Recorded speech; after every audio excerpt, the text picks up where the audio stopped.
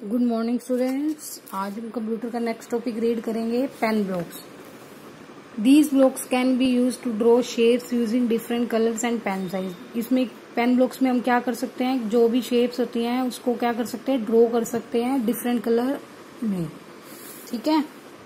Next है look blocks look blocks क्या होते हैं? Look this blocks change the sprite and background appearance जो भी ये होते हैं ना स्प्राइट इनको क्या कर सकते हैं? इनका बैकग्राउंड चेंज कर सकते हैं।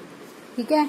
जनरेटिंग अ न्यू स्प्राइट अगर आपने, जैसे यहाँ पे आपको कैट शो करी स्प्राइट कैट शो स्प्राइट की गई है ना, वैसे ही आप अलग अलग तरह के और भी स्प्राइट इसका क्या कर सकते हो? जनरेट कर सकते हो।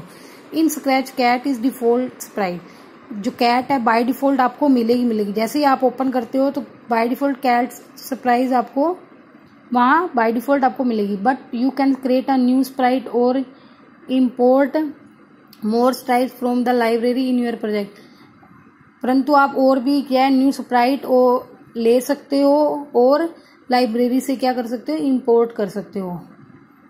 Scratch provide four different option for adding sprite to your application Scratch क्या कर सकता है? फॉर डिफरेंट ऑप्शन करता है न्यू स्प्राइट लेने के लिए।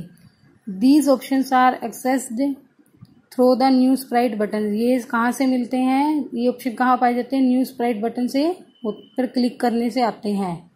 ठीक है?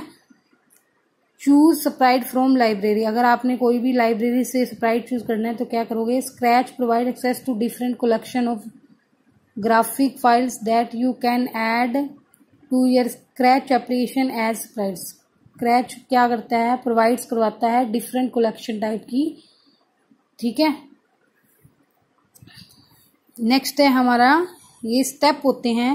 मतलब जैसे अगर आपने कोई लाइब्रेरी से आपने कोई भी स्क्रैच ओपन करना है तो ये स्टेप है अभी सबसे पहले क्या क्लिक करोगे? चूज़ स्प्राइट लाइब्रेरी के बटन पे क्लिक करोगे। स्प्राइट लाइब्रेरी विंडो पे सेलेक्ट द कैटेगरी कौन सी आपको स्प्राइट चाहिए। क्लिक ऑन द स्प्राइट जो आपको चाहिए, उस पर क्या कर दोगे? क्लिक कर दोगे देन ओके ठीक है? नेक्स्ट है हमारा पेंट और क्रिएट न्यू स्प्राइट। अगर आप कोई भी स्प्राइट लिया है, उसको क्या करना हो आपने? पेंट करना हो। By using paint new sprite button you can create a new sprite for your project आपने कोई भी स्प्राइट के, अपने प्रोजेक्ट के लिए क्या करना उसको? क्या करना है? पेंट करना है। तब आप क्या कर सकते हो इसको? पेंट कर सकते हो। ठीक है? नेक्स्ट है अपलोड स्प्राइट फ्रॉम फ़ाइल अगर आपने कोई भी फ़ाइल क्या करनी है अपलोड करनी है, ठीक है? You can upload any image और sprite from the file store on your computer जो भी फ़ाइल आपके, जो भी फ़ाइल स्टोर पड़ी है, उसमें आपका कोई भी इमेज या स्प्राइट पड़ा है तो उसको क्या कर सकते हो आप? अपलोड कर सकते हो।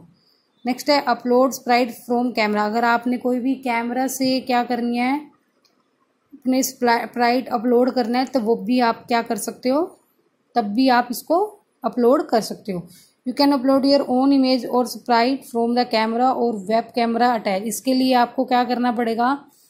कोई भी इमेज स्प्राइट करना है कैमरा से तो आपको वेब अटैच करना पड़ेगा और टू ईयर कंप्यूटर से आपने वो कैमरा क्या करना है? अटैच करना है। Click on the click on new sprite from camera button इस, आपको क्या करना है? इसके लिए new sprite from camera button क्या कर देना है? क्लिक करना है।